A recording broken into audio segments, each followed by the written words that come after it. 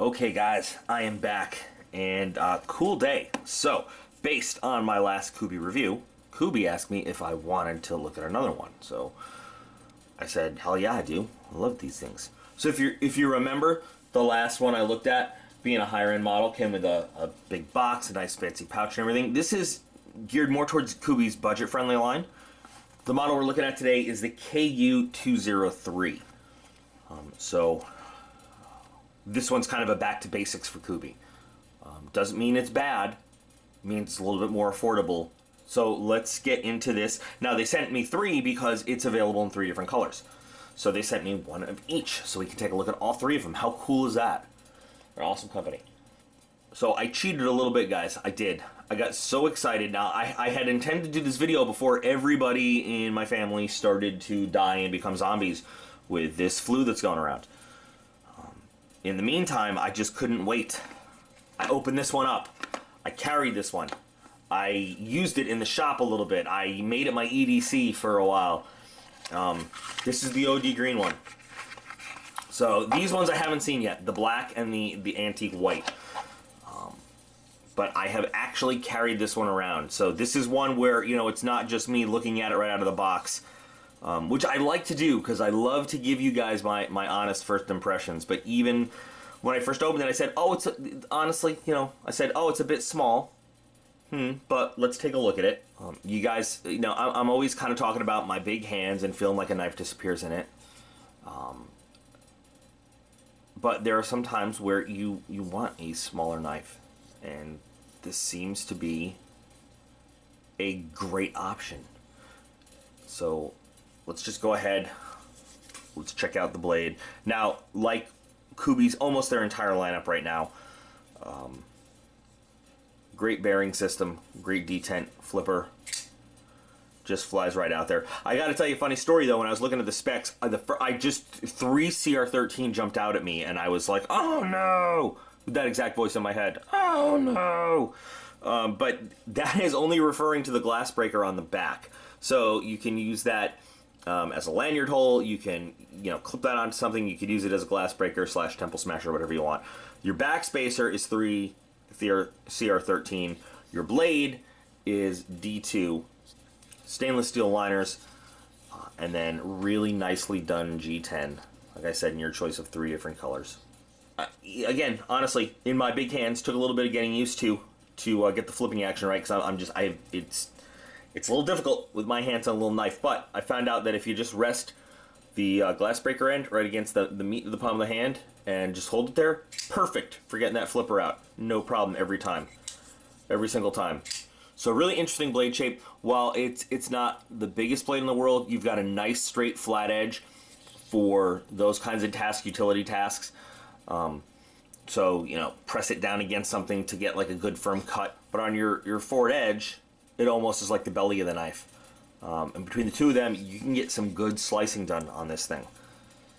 Uh, comes out of the box, razor sharp. I've already done that. We'll do the edge test on one that's brand new, no, though not one that you know. We'll do it on one that I've carried around and used not that often. You can see a little bit of use on the blade, a little tiny bit is going to show up, but not too much. Of course, small, lightweight, but nice accent on the little things like right there, making it so that you have access to sharpen the entire length of the blade. If they had just finished that flipper up there and didn't give you that little bit of a choil, you would you'd have a hell of a time sharpening that little corner right there, and you might miss some of the edge. So that's cool. Jimping up here doesn't do a whole lot. Um, it, you know, it does what it does. Um, but it's there. Um, you can still get a pretty, just from the, the design though, you can get a pretty good hold on this thing. Um, really good jimping actually on the lock over there. So when it's in your hand, um, between the little bit you have over there, the choil that you have to put your finger in, and the jimping, it doesn't want to go anywhere. Clip doesn't bite in really at all. Not at all. And I know there are people out there that like a smaller blade even though I'm a big, blade kind of guy. Nice little accents around the pivot, just to give it a little bit of style. I bet that's going to look really nice with the black. I'm gonna have to address this also with another review I'm doing. I don't have it with me, but you know, somebody out there is going to be saying, "Oh, but you didn't like the Battlbox knife of the month because it was so small." This is a lot bigger than the knife of the month. A lot more comfortable to hold. A lot more comfortable to hold than the knife of the month was, um, and your blade is quite a bit chunkier too. So, like I said, G10 is done really, really nicely. Um, inset steel liners there. So keeps the width nice and slim. Um, I, I, love a steel backspacer. That's like stability and that's strength to me. A lot of companies uh, are putting in, you know, like all the steel liners and the G10 and everything, and then the plastic backspacer. I hate when they do that. So let's use this to open up the other ones that we have here. One, and then two. I'm not sure what we have first here. This is gray, which I think is the antique white.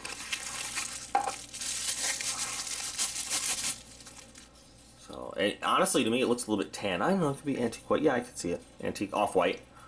Um, again, so I, you know what I actually kind of like? If you look at the the G10, it, it almost looks like a light sort of wood. But, you know, all the same features.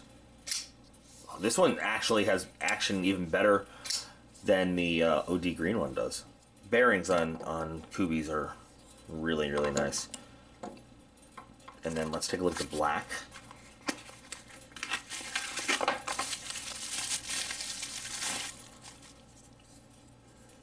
It's amazing how just changing the color of the G10 can kind of change the whole look of the knife, you know? Well, that's I'm glad it does because that's how I make money.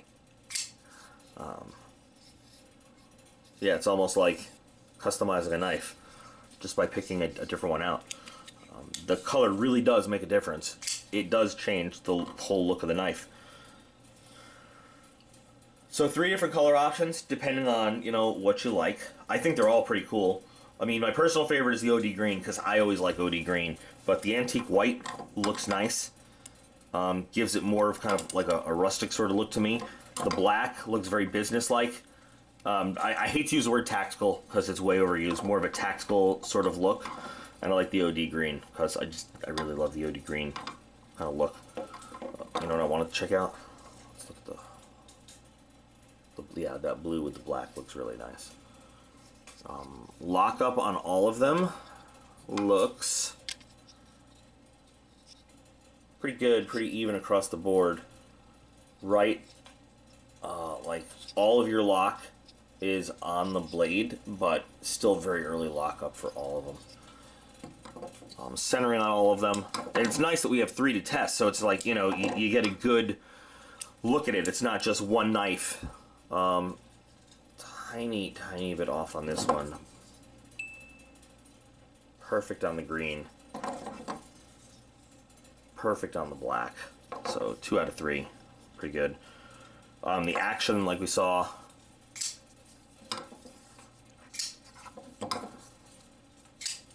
I you know I don't know if maybe the action is just because it's been in my pocket and maybe it's gotten a little bit of pocket lint. Maybe it just needs to be blown out a little bit, but I mean right out of the box, these things are awesome. Somebody explain to me why automatic knives are illegal when manual knives open that fast. Seriously, I don't get it. I, I can 100% with honesty say that whenever somebody tells me they don't have a big budget to spend, but they want a good solid knife, Kubey is always on my list of recommendations. Um, and I recommend other companies too, um, but Kubey is always at the top of my list. And I, I have yet, for real, for somebody to say that, listen, I, I took your recommendation, I bought a Kubey and I didn't like it. Um, I have comments all over the channel on, on all sorts of videos, videos that have nothing to do with Kubey, where they say, hey, I took your recommendation, I got a Kubey, I love it, it's amazing, thanks. This is one of those brands that first keyed me into the fact that um, there are some really good companies in China really trying to change that thought that knives that come out of China are, are just crappy knives. Um, there are, you know, more and more every day, but this was just one of the first ones that really kind of, for the price and the materials, and the ruggedness of, of their knives and the use that I've gotten at them. I love Kubey knives. I do. And I've been saying that long before they sent me some samples to look at. So you guys know it's like a true statement. I am very grateful that they sent me these to look at, and here's why. Because I'm going to keep one, but I'm going to put two in the giveaway. But if you want to pick up one of these right now, there's going to be an Amazon link in the video description, and for a limited time, there's going to be a 30% off. I think these are normally $39. But fit and finish on these is all, I mean, they're all great. Um, every single one of them, I mean, everything is really, really nicely done. Um, the balance on them, yeah, it's a small knife, so you wouldn't think about balance and everything, but still, even that in your hand, you, I mean, it it's hardly in there, you know, like it, it's just it's just there. Um, what I've been doing with it is I've been carrying around the shop, and this has been my, you know, cutting the hydrographic film, uh, cutting cord when I need to, um, just my kind of everyday utility knife. Um, I have not sharpened it since I got it. Like I haven't taken out and done rugged hard use, but with a D2 blade, if you needed to, you could. That's that's the beauty of D2. Those carbon steels, they hold that edge. You just got to give them a little bit of maintenance. But let's test that edge out on all three of them right out of the pack. I believe this one is a creeper. I know my Minecraft stuff. All right, so let's start with the one that I've been carrying for just a little bit. And I always have trouble doing small edges. I always end up leaving some of the paper there, but very nice, very nice. Okay. Let's check out our antique white. Oh, there is a, a bit of a difference in the brand new out of the box. Um, or maybe it's a difference in these two knives. I don't know. I mean, you can see the the green one slices, but it has been used for various things in the shop for a couple weeks. Eh, this one feels about the same. Maybe this one is just, you know, every once in a while, one is finished just a little bit better, a little bit nicer. And that antique white one, man, it was like, boom, lightsaber right through the paper. Um, let's do the cord tests. Start with a pull through.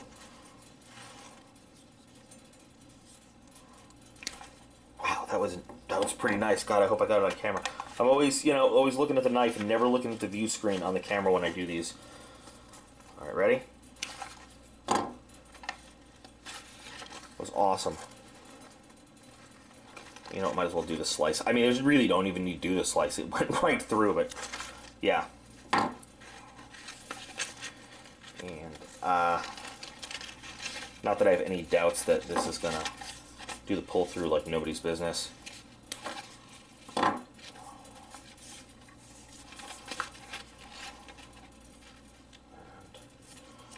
Slicey wicey.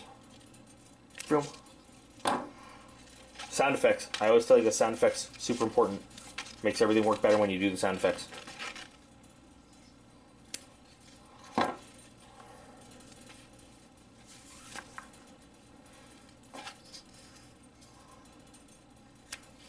Yeah, when you do the slice on these, it's like the the cord barely moves. It just it goes right through.